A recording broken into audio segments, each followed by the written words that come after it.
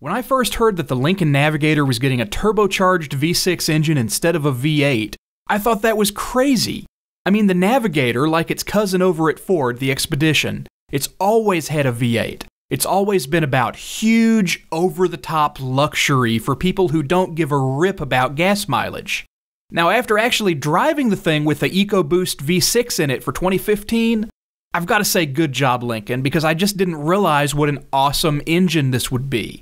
It makes more power than the V8 did last year, with 380 horsepower and 460 pound feet of torque.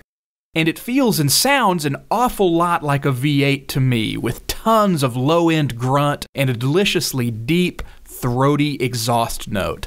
Now, I can't mention the Navigator without mentioning its arch nemesis, the Cadillac Escalade, which has an all new design for 2015. It's making the Navigator show its age a bit, especially on the outside body panels and to a lesser extent with the interior quality. But one thing that surprised me is that even after the new Caddy came out, I think the Navigator still rides better over the road. It feels softer and smoother than the Escalade to me, at least compared to the version I tested.